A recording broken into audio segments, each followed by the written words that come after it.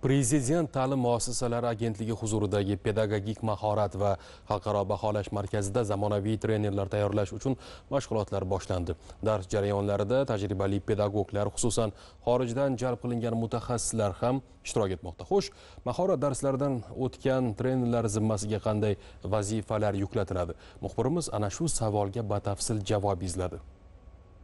Sifatli ta'lim jarayonini tashkil etish malakali pedagog kadrlardan boshlanadi aslida. Chindan ham ta'lim maskanida barcha shart sharoitlar yetarli bo'lsa-yu o'qituvchi zamonaviy talablarga javob bera olmasa ko'zlangan natijaga erishish imkonsiz. Aytish lozimki prezident ta'lim muassasalari agentligi huzurida tashkil etilgan pedagogik mahorat va xalqaro baholash markazi bir nechta nufuzli xalqaro tashkilotlar bilan hamkorlikni yo'lga qo'ygan. Zamonaviy trener dasturi ana shu hamkorlik aloqalarining natijasi bo'lib pedagog xodimlarning mahorat va malakasini muntazam oshirib borishga qaratilgan. Zamonaviy bilim va ko'nikmaga ega o'tkir zehnli va salohiyatli kadrlar. Bugun ushbu yoshlarga bo'lgan talab har bir sohada har bir jabhada ancha ortgan desak mubolag'a bo'lmaydi. Xususan bugungi zamon talablariga to'la javob bera oladigan har tomonlama yetuk kadrlarni tayyorlashda o'qituvchi pedagoglarning malakasi ham muhim ahamiyat kasb etadi. Zamonaviy trener doirasida tashkil etilayotgan har bir o'quv mashg'ulotlari o'ziga xos va interaktiv usulda tashkil etilib umuman o'qituvchi pedagoglarni yoshlar bilan ishlashda o'ziga xos usullardan foydalanish hamda E, umuman xorijiy metodlarni qo'llagan holda yoshlarni yanada qiziqtirish dars jarayonlariga jalb etishda ahamiyatli. Avvalambor e, muammo muammoni qo'ya olish ya'ni o'quvchiga kirib e, darsda biror bir bilimni tayyor berish emas.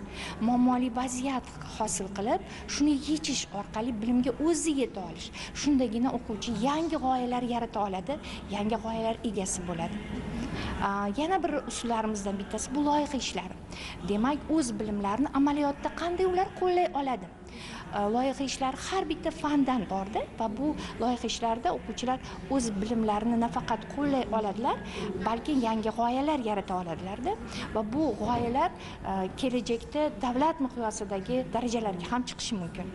Bir hafta mobaynida bo'lib o'tadigan mashg'ulotlarda zamonaviy ta'lim nazariyalarini qo'llash hamda singapur buyuk britaniya finlandiya kabi davlatlarning ilg'or tajriba metodikalarini mahalliy tizimga integratsiyalashtirish orqali maxsus malaka oshirish dasturlarni ishlab chiqishga alohida urg'u qaratiladi. Shuningdek ishtirokchilar o'qituvchilik faoliyatidan farqli o'laroq yoshi katta auditoriya va kichik guruhlar bilan ishlash ijobiy muhit yaratish ko'nikmalari bo'yicha ham o'qitiladi treninglarda xalqaro ekspert sifatida qatnashayotganimdan mamnunman va o'zimdagi bilim ko'nikmani bo'lajak zamonaviy trenerlar bilan bo'lishishga tayyorman. O'ylaymanki o'zbekistonda yo'lga qo'yilayotgan yangi ta'lim bosqichida mazkur haftalik muhim o'rin tutadi. Sababi mashg'ulotlarga xalqaro miqyosda eng tajribali mutaxassislar jalb qilingan. Quvonarlisi o'quv haftalik davomida olinadigan tajriba va malakalarni har bir trener o'z ish faoliyatiga keng tatbiq etadi hamda boshqa hamkasblari bilan bevosita o'rtoqlashadi.